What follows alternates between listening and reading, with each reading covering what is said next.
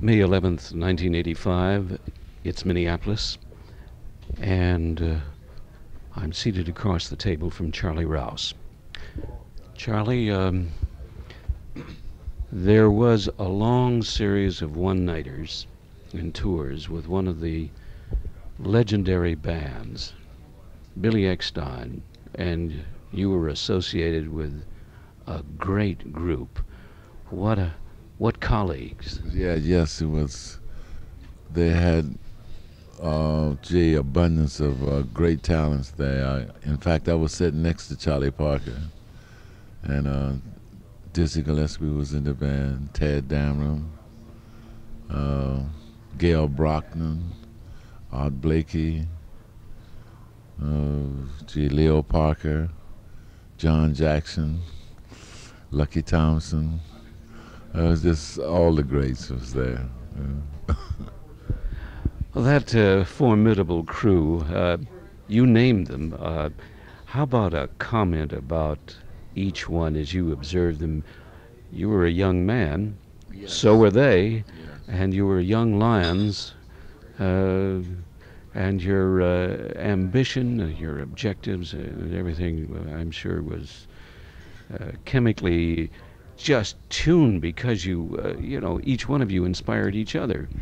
Yeah, well, at the time I, uh, when I joined the band, I just left school, and uh, how I happened to join the band, I, well, before I left uh, Washington, I was working in a little club called the Caverns, Crystal Caverns, and the piano player, the band leader was the piano player named John Malachi, and uh, Tommy Potter bass player, and they were we all were in the band at the time at the Crystal Caverns. They all from Washington, and O.C. Johnson was in the band too, the drummer that passed away. And uh, Billy had left the band. Billy had left. Billy Eckstine had left Earl Hines band and formed a big band. And he had gotten. Uh, he asked John Malachi to form, uh, to to be in the band. So they were out on the road for about two or three months and uh, it was during the wartime. And Crump, uh, the saxophone player that uh, was with Earl Hines, in fact, all the members of Billy Eckstine's band were originally from Earl Hines' band, and they all left when Billy left. And uh, so when the army grabbed uh, the saxophone player, the Crump, and so they were looking for another uh, tenor saxophone player, and so John recommended me to go and um, when they called me up, I was so elated and scared. and uh, I joined the band in uh, in San Antonio, Texas. And uh, soon I uh, got off the bus. They met me, and the first night that uh, we were playing a lot of one-nighters dance uh, halls, and when I sat down. I sat down next to Charlie Parker, and uh, he was such a warm individual. He pat me on the shoulder and said everything is going to be all right. and uh, it was just a wonderful feeling. Uh, Dizzy was in. Uh, this was like say a traveling school, musical school. We used to play the dances one nighters, and after we get through, we get on the bus, and we still play on the bus or when we get to the hotel, we go to each other's room and start practicing and jamming together, and that went on continuously. Your uh, your memories of uh, Dizzy Gillespie's uh, uh, attitude and direction at that time. Well, Dizzy was uh, was befriended me. He was a very good uh, he took me like say sort of under his wings. He was like the musical director of the group at the time of Billy's band, big band. He would rehearse the band and get the music together. And in fact, he was uh, he was uh, sort of like tutoring Billy Eckstine with the trumpet. Billy just was trying to play the trumpet, and uh, well, he just uh, he talked to me, and uh, he knew that I had just come out of school and and that I was a little nervous. so he he uh, he was was like a big brother to me, really. And what happened? Uh, I left the band after a year. I left the band in Chicago, and Dizzy and Bird was leaving the band right after me. So Dizzy told me that uh, he's going to form a big band when he go back to New York. And he said, when I hear about it, come up and because uh, he knew I was from Washington, come up to New York and try out for the band.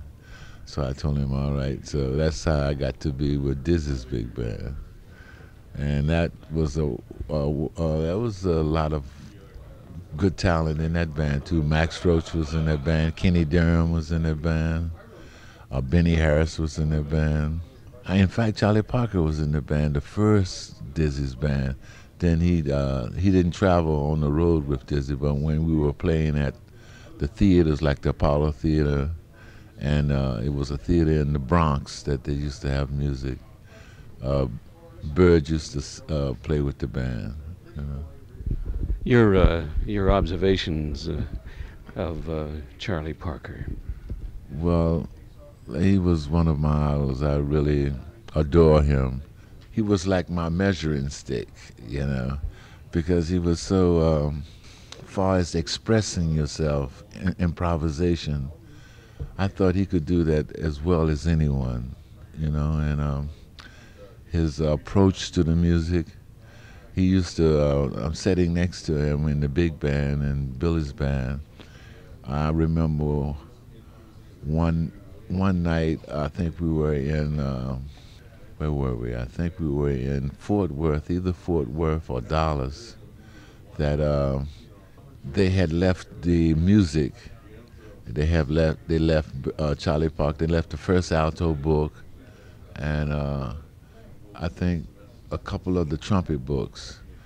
In the the, the previous uh, uh, one nighter that we played, the one of the um, the the band boy he le- left some of the music.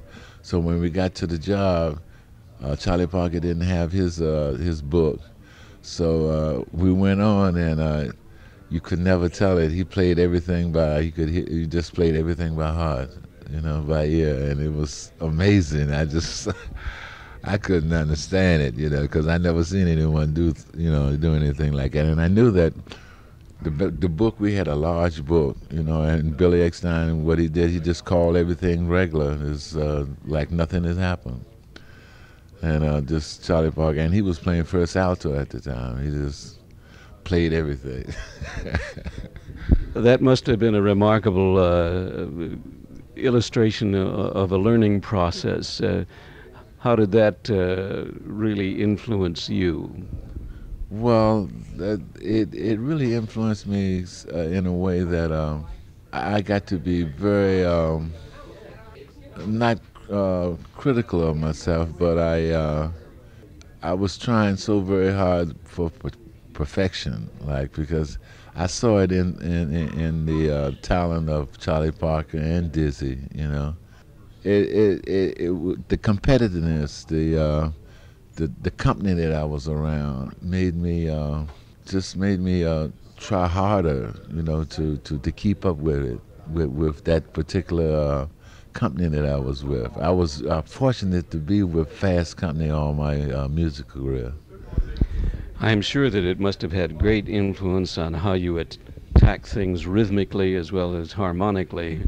Yes, true. Uh, well, Thelonious uh, taught me a lot about that, that rhythmically, because he was uh, very rhythm conscious, Thelonious. He would play tempos like in between tempos, like usually a musician would play slow, medium, or fast. Thelonious would choose a tempo in between of slow and medium. And it's uh, when you start playing like that, you have another approach to the music. You have to approach it another way and he really taught me how to. Uh, imagine dealing with space, you know, and, uh, and that was, he was the master in that. Thelonious was. And there, uh, th- there was the contrast between uh, Monk and, say, the Eckstine or Gillespie band. Oh yeah, well, Thelonious was like an individual.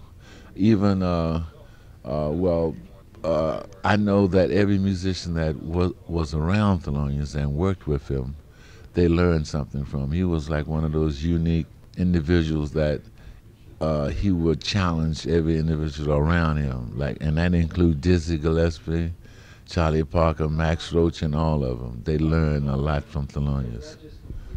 Charlie Rouse, uh, let's talk about uh, Thelonious Monk in our next conversation and continue this in just a moment.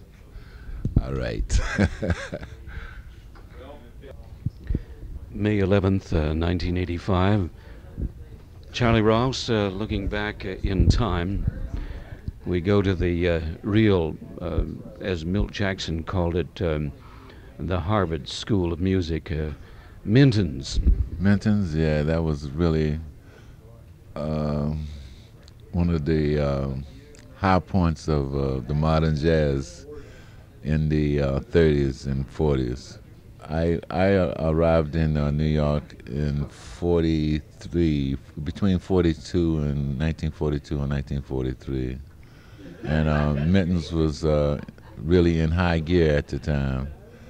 Musicians would be playing downtown at the uh, Paramount, and they would play um, until I imagine the the theater closed around 10 or 11 o'clock, and then they would shoot right uptown to Minton's 118th Street, and it would be there and jam up until four o'clock in the morning, and that was going on continuously every day, every night.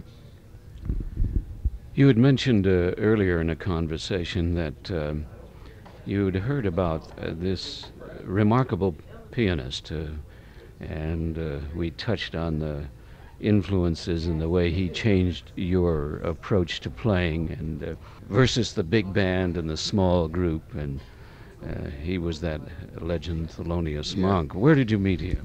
Well, I met him in New York when I first came there, but Thelonious had played in. Um, uh, well, see, Thelonious wasn't born in New York. He was born in uh, North Carolina, but he came to New York at a very early age. I think he was around four or five years old.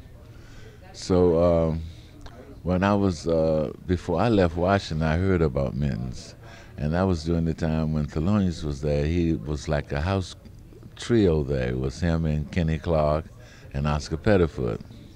And so well, that's that's when the, it really started. When I got there, it was uh, it was just at a high, uh, a high gear at the time. But it, four or five years previous to that, that's when the uh, the music they called bebop they were calling it modern jazz then because uh, the music was changing at that period. And that's when uh, Thelonious and Oscar Pettiford and and uh, Kenny Clarke they had the trio, and that's when everybody was there. Uh, Charlie Christian from Benny Benny Goodman's band, everybody that was working in the theater or was coming through town, they would wind up going to Minton's, jamming all night and playing all night. Uh, I remember well, Bud Powell, everybody, all the musicians. That would that was the club to really play. Uh, Monroe Uptown it was a nice club too, but it was like an after-hour club, more like. But uh, Minton's was really the uh, the main source of uh, inspiration and the main source of uh, hearing really good music. The uh, all the greats was there, and then you have to you really have to play when you. Um, get on the stand in Minton's uh, during that time, because like if you're not sure of yourself or you you were like uh, uh, messing up a little bit on your horn, the musicians would walk off the stand and leave you up there alone. So you would really have to uh, know what you're doing when you got up there playing. In other words, you had to bail yourself out if you got into uh, one of those pockets or holes. Definitely, yeah. and nobody would try to help you out. They would just walk off the stand, you know. And they said, "Well, you have to go home and study a little more before you come out and play." Let's talk about the inspiration. You'd come out of a, a big band where there wasn't a lot of space, uh, except for the solos, but we're talking about space in a different way. And Monk was the master of that. And rhythm and time and harmonic territory that was completely different from, say, a major big band like Dizzy's or, or Billy Eckstine's. Oh yeah, well Thelonious, uh, his uh, he was such a his compositions and the way Thelonious played was uh, like he was an individual. He uh, his composition was not like the regular normal compositions that you would hear. Uh, you know, usually the uh, the the writers would be writing uh, songs eight and eight and bridge and eight bar. Uh, Thelonious would think of a melody or something, and if the melody is four bars, that's the tune for him. Or if you think of a melody which consists of eight bars and then the bridge, instead of eight bars, the bridge is six bars or four bars, he leave it just like that because that's what he hear. So, and then that would, I think that made him sort of uh, different than a lot of composition. His composition was so personal, and you would have to play what he wrote and how he felt it. Otherwise, it wouldn't go off. It wouldn't come off if you try to interpret your way. And so his, uh, he was just such a an individual, really. Well, here you are, um, working, uh, you know, totally in a different context, and when you uh, first experienced playing, uh, you know, in the monk mold uh, and style, what did you have to do from the standpoint of, say, your horn, you as a human being, and how you think, and then how you breathe? well, I would have, to, I had to adjust, but what happened? Uh, uh, I joined Thelonious in '59, uh, the latter part of '59. In fact, Johnny Griffin was uh, was in the band previous to that, and then uh, John Coltrane was before him, and Sonny was before our train.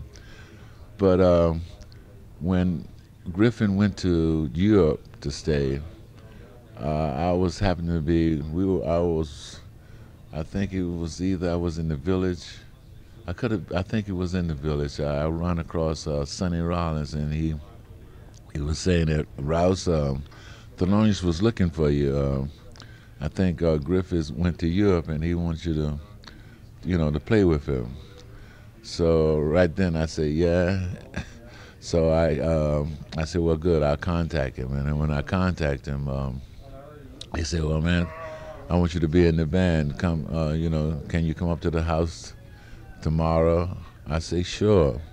So when I got up there, we talked, and Thelonious was the type of person that uh, he didn't have too much to say. You know, he said, well, man, you want to be in the band? You know, I said, sure, I would like to be in the band. He said, well, solid, good. He said, uh, it's going to be a court, you know, I want uh, uh, Frankie Dunlap, and uh, no, it was uh, Arthur Taylor and Sam Jones was the other in the rhythm section. So he said, "Well, we're going to open up down the five spot. Could you come to rehearsal uh, tomorrow night?" I said, "Sure." I was saying, "Well, what time?" I thought it would be around eight or nine o'clock. He said around twelve o'clock. So we usually rehearse at start around twelve o'clock midnight until eight and nine o'clock in the morning over to his house or either over to the baroness house, uh, practicing all night long. He would sit on the piano and learn me, uh, show me a tune, and then he saw that I knew the melody. Then he got up off the, uh, piano and walked around and had me play, and I would play it. So during the, the period of from 12 to 8 o'clock in the morning, I would learn maybe two tunes uh, a night. So, but uh, it was very good doing it that way because um, when you're uh, doing it that way, you learn the tune, and once you learn it, it, you know, he'll learn you the melody, and then he'll tell you to go ahead and play it and mess around with it.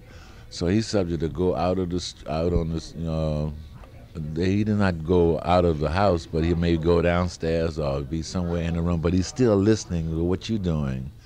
And then when he see that you uh, got it under your hands, you know what you, you uh, doing. He come back and sit on the piano and say, okay, let's play it.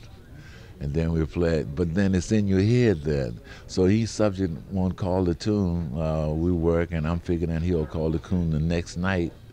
And he won't call it maybe two weeks later.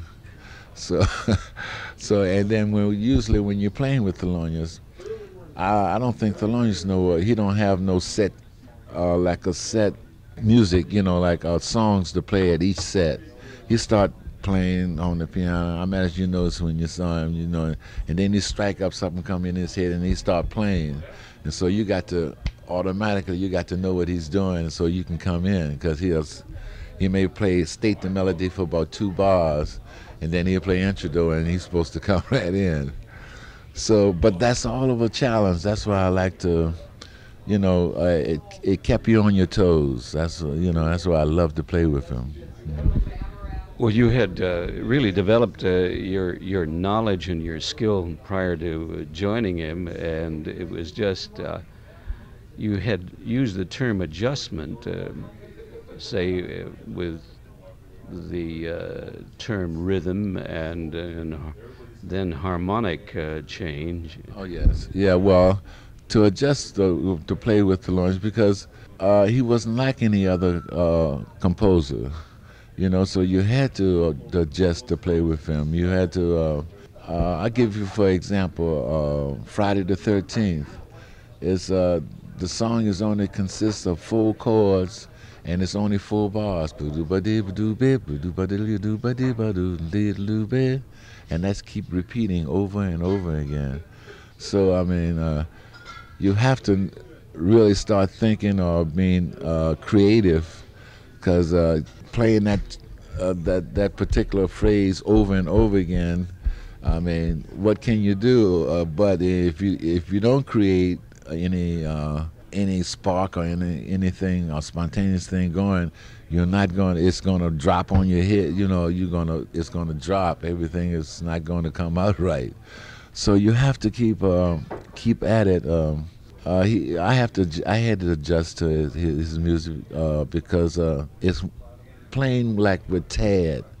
I give you, uh, for example, Tadd Dameron was, was one of our great composers too. Uh, but his music was either 16 bars or 32 bars. With Thelonious music, uh, when you're playing his composition, his composition could be seven bars. maybe you play uh, eight bars in front, and then you got a, a, a, bridge that is seven bars or six bars. It's not the regular eight bar bridge, and so you have to really adjust to that because you uh, it's it's something new to you, you know, and uh, you feel funny, you know, on the stage, and you start playing, and then you something happening you don't know where you are or what's happening and then you out there holding your horn and your mouth open. and Thelonious was the type of musician where and if you like that, he'll leave you out there because he, when you're playing with him, he's subject to play with you for about four or five courses. and Then he'd get off the piano and start walking around the stage. And you're out there with the bass and drums. And if you don't know what you're doing, you, you're in trouble. Thank you very much, Charlie Rouse, for that picture of the learning experience uh, involved with that uh, legendary institution, Thelonious Monk. Yes, thank you.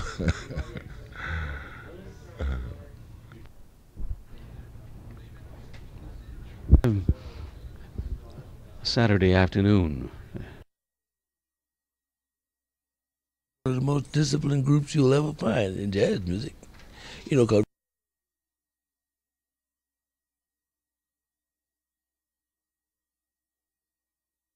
stage and you're out there with the bass and drums and if you don't know what you're doing you you're in trouble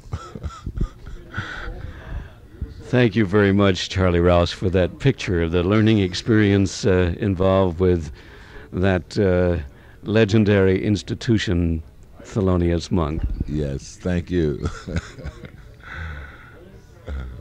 May 11th, 1985, Saturday afternoon with some rather dark gray storm clouds rolling overhead. Charlie Rouse uh, will get out from under here, and uh, I, in a, another conversation about Monk, I got to thinking.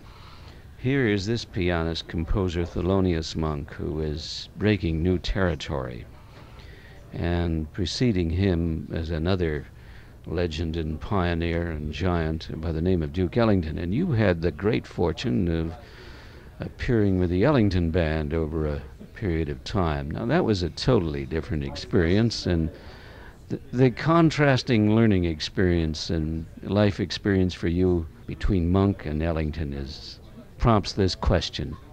What is the question? Uh, what's the distinction between the two, and how do you sort of draw a picture of your Ellington experience? Well, I think they. Uh, I can rate, relate to both of them. Both of them, uh, you know, like Duke is the master of. Uh, you know, uh, I would say like Duke was the master, and uh, Thelonious was uh, the younger of the two, and uh, you had a lot of similarities there between Monk and Duke. I find I find it uh, in handling musicians. Plus, uh, I find that in um, similarity of how they play, how they voice their they, uh, their uh, chords, their harmonic. Because um, uh, I know that Monk was very, very, very fond of Duke, you know, and I know that Duke was fond of Monk. They they they recognize each, you know. But Duke was like he's the older, like the daddy of it. So I would have to say that Duke was the, you know, is the master. The Thelonious really, fit, uh, uh, I would say, Thelonious was listening to, I mean, to Duke a lot because uh, that's the way I see it. Because um, I think uh, Thelonious, what he did, he um, he made an album dedicated to to to to uh, Duke. But I can, I working with both of them. Uh, uh, Thelonious, the, the, similarity was very close far as the, the, the, musical composition was concerned. Duke was very rhythmically. Duke could set a, a set tempos that would uh, uh, would would make you pat your your feet and clap your hands.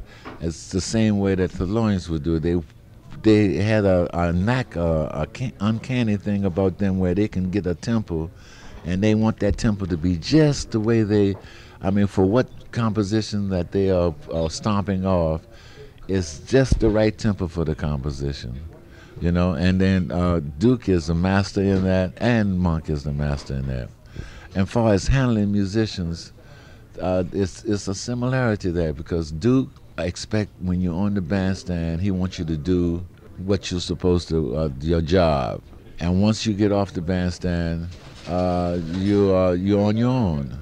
And Thelonious was the same type of, of, musician. You had to play when you're on the bandstand, and once you're off the bandstand, you're, you know, he's not he's not like a lot of band a lot of uh, bands that you get into where they have a whole set of rules, and you have to uh. You have to say, well, you have to wear a tie, and you have to do this. You know, they let you, the Duke and Monk, they let you do what you want uh, what you they, they give you that that privilege of uh, of making up your mind what you want to. Uh, if you're late, well, it's not about a finding, but it's about uh, either you want to work in the band or you don't want to work in the band. If it's, it's business, if you want to be in the band, you have to make your time and you have to play when you're on the bandstand. Now, when you're off the bandstand, you can do whatever you want to do and that's uh, they are very closely uh, similar to like for the airplane. You know, that's how I, I judge both of them.